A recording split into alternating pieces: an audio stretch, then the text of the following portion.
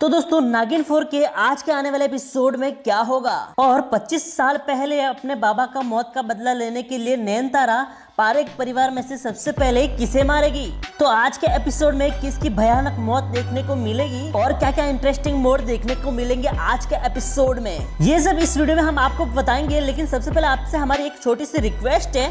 दोस्तों, आपके लिए इस वीडियो को मुझे बनाने में पूरे तीन घंटे का समय लगेगा, लेकिन आपको लाइक करने में सिर्फ़ एक सेकेंड का समय लगेगा। और प्लीज़ दोस्तों, अगर आपने हमारे चैनल को सब्सक्राइब नहीं किया है तो चैनल को सब्सक्राइब करके बेल आइकन को प्रेस ज़रूर कर दे, ताकि नागिन फोर से नई अपडेट सीधे आपको मिले।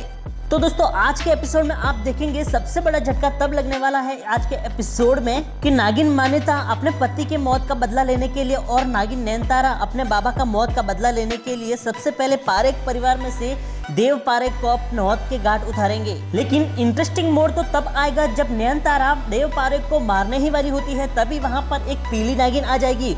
और वह पीली नागिन और कोई नहीं, बल्कि नागिन वृंदा होगी। और आज के एपिसोड में नागिन वृंदा और नागिन नयन तारा दोनों के बीच बहुत बड़ी लड़ाई देखने को मिलेगी। और उस लड़ाई में नागिन वृंदा जीत जाएगी और देव की जान बचा लेगी।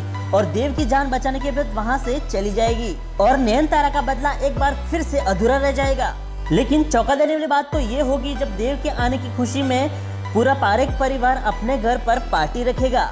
और एक बार फिर नैन तारा इसी पार्टी का फ़ायदा उठाकर एक बार डांसर के रूप में उस पार्टी में शामिल होगी। और उस पार्टी में नागिन नैन तारा डांस करते हुए देव की जान लेने की एक बार फिर से कोशिश करेगी। लेकिन झटका तो तब लगेगा जब वृंदा एक बार फिर से वहाँ पर बीच में आ जाएगी। और इसलिए नागिन वृंदा को अपने रास्ते से हटाने के लिए नागिन नैन तारा और मान्यता दोनों नई चाल चलेंगी।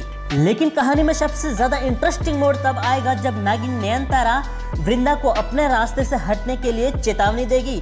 आखिरी चेतावनी देगी। और तब नाग रानी वृंदा उसका कारण पूछेगी। तभी नयनतारा वृंदा को पूरी कहानी बताती है, अपने 25 साल पहले किस तरह से पारे परिवार ने मेरे बाबा को धोखे से मार गया, मार दिया था। और पूरी कहानी सुनने के बाद नागिन वृंदा पूरी तरह से हिल जाएगी। और पूरी कहानी सुनने के बाद नागिन वृंदा इस बड़े इंतकाम में नागिन नयन तारा और नागिन मान्यता दोनों का साथ देगी। और फिर तीनों नागिन एक हो जाती है और एक होकर पारेख परिवार से किस तरह से बदला लेगी, ये सब आज के एपिसोड में देखने के लिए आप कितने एक्साइटेड है, हमें कमेंट बॉक्स में ज़रूर बताएँ। और दोस्तों, अगर आपने हमारे चैनल को सब्सक्राइब नहीं किया है तो चैनल को सब्सक्राइब करके बेलाइकन को प्रेस ज़रूर कर दे ताकि नागिन फोर के हर न्यू अपडेट सीधे आपको मिले। तो मिलते हैं नए वीडियो के साथ, तब तक के लिए bye bye tata take care